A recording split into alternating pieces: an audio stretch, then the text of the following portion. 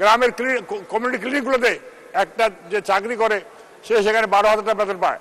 তারা বাড়ি থাকে বাড়ি কমিউনিটি সকাল সাতটায় যায়, বেলা দুইটা বন্ধ করে।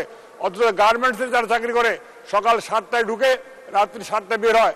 তার বেতন আট হাজার টাকা, ছয় হাজার টাকা, দশ হাজার টাকা মানে স্পিকার এই হলো বৈষম্য। মানে স্পিকার এই বিলটি এসেছিল ঠিক দুই হাজার আঠারো সালের এই অক্টোবর মাসে মানে স্পিকার ঠিক পাঁচ বছর পরে আজকে আবার এই বিল। এই পাঁচ বছর কি বিল? নাম সংশোধন।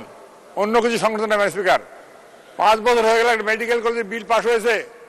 আমাদের পীর সাহেব বললেন, সুনামগঞ্জ এমপি সাহেব বললেন, এখন পর্যন্ত সেখানে ইউনিভার্সিটির কার্যক্রম শুরু হয়নি, কোনো ক্লাস শুরু হয়নি, কোনো কিছু নাই ভাইস চ্যান্সেলার অমুক আছে আর বাকি নাই। তাহলে মানে এই বিল পাস করে লাভ কি? এবারও ঠিক তারা হলো করে একটার পর একটা বিল পাস করছে ইউনিভার্সিটি বিল পাস করতে আসি এগুলো কি পাঁচ বছর এভাবে পড়ে থাকবে? মানুষের কাগজ কলমে সব আছে আমাদের। ঠাকুরা বিশ্ববিদ্যালয়ে পাশ করলাম। এটা কি পাঁচ বছর লাগবে? এই শরীয়তপুর বিল পাস করলাম। সবগুলো একই অবস্থা। পাঁচ বছর আগে এই বিল পাস হয়েছে মানে স্পিকার। পাঁচ বছরের মধ্যে এখন পর্যন্ত নাম পরিবর্তনের মধ্যে সে আমরা থাকলাম। এখন পর্যন্ত আমরা সেখানে কার্যক্রম শুরু করতে পারলাম না। কোনো ছেলে লেখাপড়া করাতে পারলাম না। সেরকম কোনো কেবল আপনার কার্যক্রম শুরু করতে পারলাম না। মানে এর মানে কি মানে স্পিকার? আমরা কাগজ কলমে শুধু উন্নয়ন করছি। কাগজ কলমে আমরা সব করছি। বাস্তবে তো মা- মানুষের নাই। আজকে একটু হয়তো বললেন যে উপজেলা, উপজেলাগুলোতে সব মেশিন আছে। অপারেটর নাই। আমাদের পাবলিক অ্যাকাউন্ট কমিটির যে পাবলিক সভাপতি সাহেব আছেন, ওটির আপত্তি দিয়েছেন। এই মেডিকেলের যন্ত্রপাতি, আপনার মেডিকেল কলেজগুলো গিয়েছে, সেইগুলা ওয়ারেন্টি ওয়ারেন্টি দেওয়া আছে, পাঁচ বছর, আট বছর আট বছর চলে গেছে, এই মেশিনগুলো খোলানো হয়নি।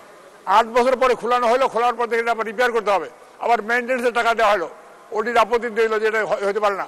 তারপরে মেশিন নিয়ে আসলে আট বছর পরে থাকল এগুলো মেশিন চালাইলেন না আবার আট বছর পরে গেলে আবার মেনটেন্সে খরচ দিচ্ছেন। এরকম আপত্তি মানে স্পিকার এর মানে কি? লুটপাট দুর্নীতি। কি হয় মানে স্পিকার সেই জন্যই বিল আনেন আমরা পাস করে দিব। মেজরিটি আছেন ম্যাক্সিমাম মেজরিটি আছেন। জি ধন্যবাদ।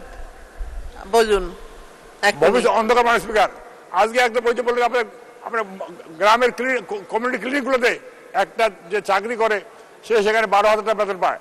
তারা বাড়ি থাকে বাড়ি কমিউনিটি সকাল সাতটায় যায়, বেলা দুইটা বন্ধ করে। অথচ গার্মেন্টসে যারা চাকরি করে, সকাল সাতটায় ঢুকে রাত্রি সাতটায় বের হয়, তার বেতন আট হাজার টাকা, ছয় হাজার টাকা, দশ হাজার টাকা মানে স্পিকার এই হলো বৈষম্য। আমরা সবখানে বৈষম্য শিকার। মানুষ বাজার, ঊর্ধ্বগতি। আজকে মানুষের করক্ষেপের বাইরে আমরা বড় বড় মেডিকেল কলেজ হচ্ছে, বড় বড় যন্ত্রপাতি কিনছি। আজকে আমাদের ফরেন কারেন্সির অভাব এলসি করতে পারতেছি না। সেই জন্য মানুষ স্পিকার আমি বলতে চাই, এই বিলগুলো এইভাবে না নিয়ে আসে, যাচাই বাছা করা দরকার ছিল। এগুলো শুধু দামের পরিবর্তন। এক বছর আগে বিলটা করলেন তাড়াহুড়া করে।